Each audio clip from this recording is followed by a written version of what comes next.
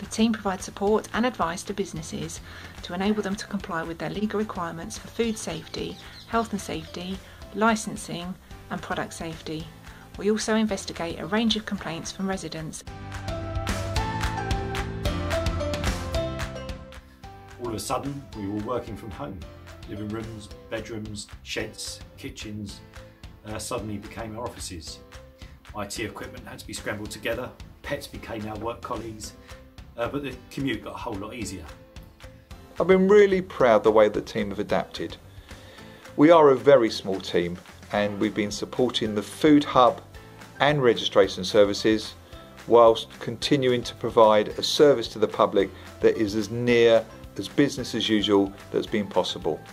The team have also found time to be deployed to support the Council's wider aims of providing support um, to our more vulnerable residents. My team and I were quickly very busy helping to tackle complaints about noise and bonfires. Many people started decluttering their houses, lofts and garages.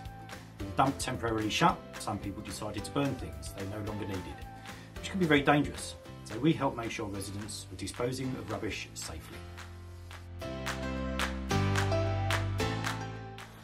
The Household Reuse and Recycling Centre, translated into English as the dump, was quote closed for a few months as part of the government lockdown.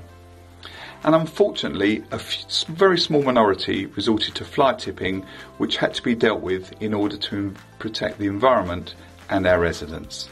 And as you can imagine, investigating fly tipping whilst maintaining social distancing has been quite a challenge. But now things are pretty much back to normal and we're continuing to work with residents and businesses to ensure that they dispose of their waste in a safe and appropriate manner. We are also dealing with other work uh, that involves rats, mice, anything really, uh, including domestic pets in food businesses, which is totally not allowed.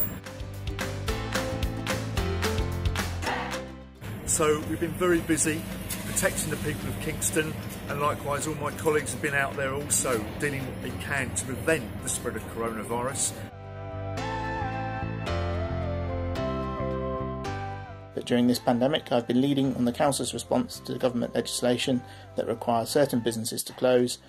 We've produced guidance that we've sent out to over 2,000 food businesses with advice on how to operate still safely around COVID 19 but still comply with our food hygiene and safety laws.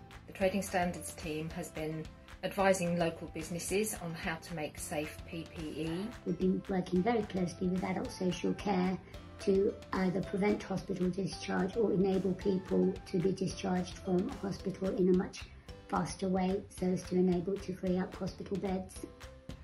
They have been liaising with comms to make sure that our residents and our businesses have the most up-to-date information about COVID-19 and the relevant scams.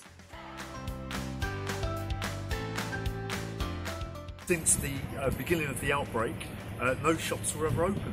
But hey, it's business as usual uh, now, uh, with us checking on businesses to make sure that they comply with COVID-19 restriction regulations.